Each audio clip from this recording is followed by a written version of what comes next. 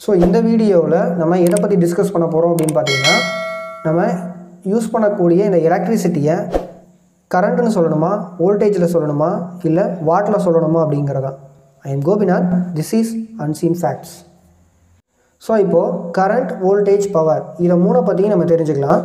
இப்போ ஒரு பைப் லைனில் வாட்டர் வந்து ஃப்ளோ ஆகிட்டு இருக்கிறதா எடுத்துக்கலாம். ஸோ இப்போ பார்த்திங்கன்னா ஒரு குறிப்பிட்ட டயத்தில் எவ்வளோ அமௌண்ட் வந்து வாட்டர் ஃப்ளோ ஆகுது அப்படிங்கிறத நம்ம மெஷர் பண்ணலாம்.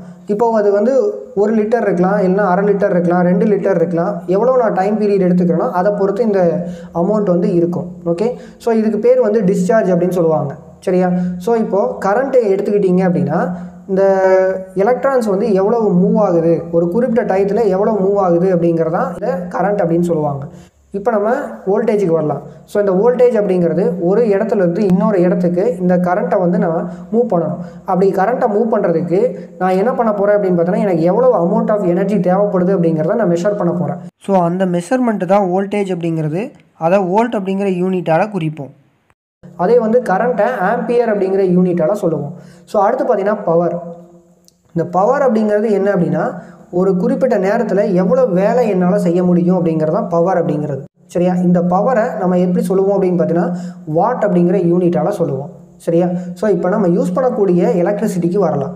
ஸோ இப்போ நம்ம வீட்டில் பார்த்தீங்கன்னா எலக்ட்ரிசிட்டியை எப்படி மெஷர் பண்ணுவோம் அப்படின்னு பார்த்தீங்கன்னா யூனிட்டில் மெஷர் பண்ணுவோம். ஸோ இப்போ நூறு யூனிட் வந்து எரிஞ்சிருக்கு. இல்லை இரநூறு யூனிட் வந்து எலக்ட்ரிசிட்டி நம்ம யூஸ் பண்ணியிருக்கிறோம் அப்படிங்கிறத கணக்கெடுப்பாங்க.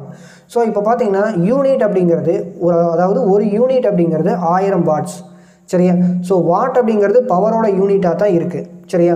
ஸோ இப்போ பவரை எப்படி நம்ம கண்டுபிடிக்கணும் அப்படின்னு பார்த்தீங்கன்னா நம்ம யூஸ் பண்ணக்கூடிய வோல்டேஜையும் கரண்ட்டையும் பெருக்கணும் அப்படின்னா நமக்கு பவர் கிடைச்சிடும் அப்போ நம்ம வீட்டில் வரக்கூடிய எலக்ட்ரிசிட்டியில் கரண்ட்டு மட்டும் இருக்கா அப்படின்னு கேட்டிங்கன்னா கிடையாது. அதில் வோல்டேஜும் இருக்குது சரியா? ஒரு குறிப்பிட்ட வோல்டேஜில் வரும் அதே மாதிரி குறிப்பிட்ட கரண்ட்டில் வரும் சரியா? ஸோ இப்போ பார்த்தீங்கன்னா நம்ம வீட்டில் யூஸ் பண்ணிக்கிட்டு இருக்கக்கூடிய எலக்ட்ரிசிட்டியை நம்ம என்னென்னு சொல்லணும் அப்படின்னு பார்த்தீங்கன்னா பவர் அப்படின்னு தான் சொல்லணும். ஸோ எலக்ட்ரிசிட்டி கட் ஆச்சுன்னா பவர் கட் ஆயிடுச்சு அப்படின்னு தான் சொல்லணும். கரண்ட்டு கட் ஆயிடுச்சு அப்படின்னு சொல்லக்கூடாது. ஏன் அப்படின்னு பார்த்தீங்கன்னா இப்போ நம்ம மூணு சர்க்கியூட் எடுத்துக்கலாம். ஒன்று ஓப்பன் சர்க்கியூட் அடுத்து பார்த்தீங்கன்னா க்ளோஸ்டு சர்க்கியூட் அதுக்கப்புறம் பார்த்தீங்கன்னா ஷார்ட் சர்க்கியூட் இப்போ ஓப்பன் சர்க்கியூட்டில் பார்த்தீங்கன்னா ஒரு சர்க்கியூட் வந்து க்ளோஸ் ஆகாமல் இருக்கும். ஸோ க்ளோஸ் ஆனால் தான் நமக்கு எலக்ட்ரிசிட்டி அந்த இடத்துல ஃப்ளோ ஆகும். ஸோ இப்போ ஓப்பன் சர்க்கியூட்டில் பார்த்தீங்கன்னா கரண்ட் வந்து ஃப்ளோ ஆகாது. ஆனால் அந்த இடத்துல வோல்டேஜ் வந்து இருக்கும். இப்போது க்ளோஸ்டு சர்க்கியூட் பார்த்தீங்கன்னா ஒரு சர்க்கியூட் க்ளோஸ் ஆகிருந்தது அப்படின்னா அந்த இடத்துல என்ன இருக்கும்? கரண்ட்டும் இருக்கும் வோல்டேஜும் இருக்கும். ஸோ கரண்ட் வந்து ஃப்ளோ ஆகிட்டு இருக்கும். ஒரு குறிப்பிட்ட வோல்டேஜ் வந்து அந்த இடத்துல இருக்கும். இப்போது ஷார்ட் சர்க்கியூட் அப்படின்னு பார்த்தீங்கன்னா அதிகப்படியான கரண்ட் பார்த்திங்கன்னா ஃப்ளோ ஆகும். அந்த இடத்துல வோல்டேஜ் வந்து ஜீரோவாக இருக்கும்.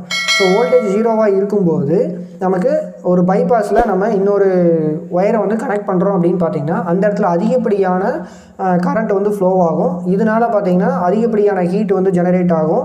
ரெசிஸ்டன்ஸ் இல்லாமல் ஸோ இந்த ரெசிஸ்டன்ஸ் இல்லாமல் அதிகப்படியான ஹீட் ஜெனரேட் ஆகிறனால அந்த ஷார்ட் சர்க்கியூட் பண்ண ஒரு ஃப்ராக்ஷன் ஆஃப் செகண்ட் மட்டும்தான் இருக்கும்.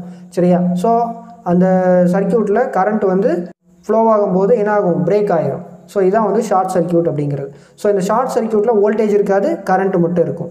ஸோ இப்போ நம்ம எலக்ட்ரிசிட்டி யூஸ் பண்ணுறோம் அப்படின்னா அந்த இடத்துல கண்டிப்பாக க்ளோஸ்டு சர்க்கியூட்டாக தான் இருக்கும். ஸோ இந்த க்ளோஸ்டு சர்க்கியூட்டில் கரண்ட்டும் இருக்குது வோல்டேஜும் இருக்குது ஸோ இப்போது இந்த கரண்ட்டையும் வோல்டேஜையும் நம்ம பெருக்கணும் அப்படின்னா நமக்கு பவர் வந்து கிடைச்சிடும். ஸோ பவரோட யூனிட் என்ன?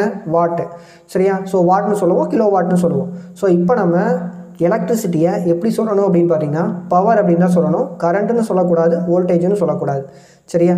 ஸோ இந்த வீடியோ உங்களுக்கு ரொம்பவே யூஸ்ஃபுல்லாக இருக்கும்னு நினைக்கிறேன். ஸோ இந்த வீடியோ உங்களுக்கு பிடிச்சது அப்படின்னா ஒரு லைக் பண்ணுங்கள் ஷேர் பண்ணுங்கள் இந்த வீடியோ பற்றின கமெண்ட்டை கமெண்ட் செக்ஷனில் சொல்லுங்கள் நீங்கள் இன்னும் நம்ம சேனலை சப்ஸ்கிரைப் பண்ணினா சப்ஸ்கிரைப் பண்ணிக்கோங்க. தேங்க்ஸ் ஃபார் வாட்சிங்